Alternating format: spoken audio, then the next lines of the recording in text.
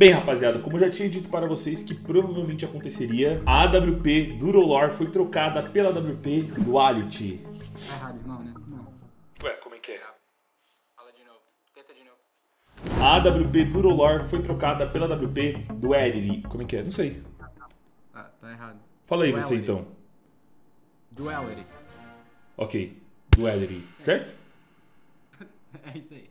Enfim, pra quem não tá ligado, eu aconselho que assista esse vídeo aqui, que lá eu falo sobre as acusações de plágio que a comunidade fez para a nova AWP Durolor e a M44 T Macau. No vídeo eu mostrei, né, o porquê essas skins estavam sendo acusadas de plágio e lá eu disse que era assim bem provável que as duas ou uma das duas fossem alteradas e isso aconteceu. A M44 T Macau saiu ilesa disso daqui, né, pelo menos por enquanto. Talvez a Valve ainda esteja investigando essa parada. Porém, a AWP Durolor já foi excluída do CSGO. Eu digo que ela foi excluída porque ela não foi alterada. Não, não temos mais a AWP Durolor no CSGO. O que temos agora, no lugar, essa AWP aqui, ó, que na minha opinião é muito, mas muito mais bonita que a Durolor. Juro, muito mais bonita mesmo. Uma skin de scope preto, com detalhes dourados. Esses detalhes dourados se estendem para o corpo da skin, porém o corpo da skin, o que se destaca mesmo, na minha opinião, são as ilustrações em rosa. E olha a parte de trás dessa skin, cara. Já é o contrário, praticamente não tem rosa, mas tem muito preto, tem muito dourado, tem uma serpente ali que corre por praticamente todo o corpo da skin.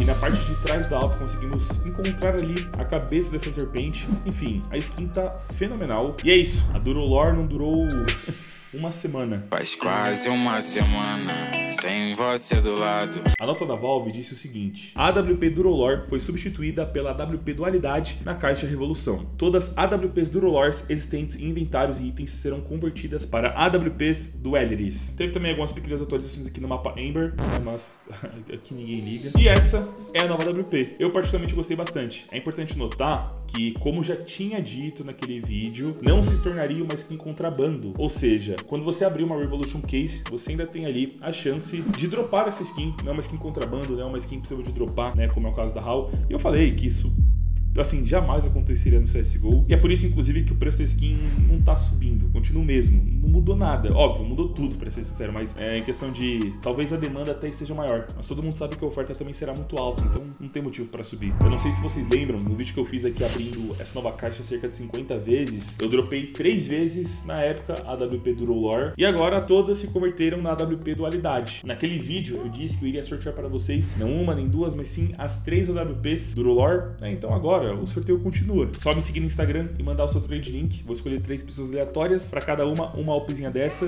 Por sinal, tá bem cara. Essa Minimal Wear, cerca de mil reais.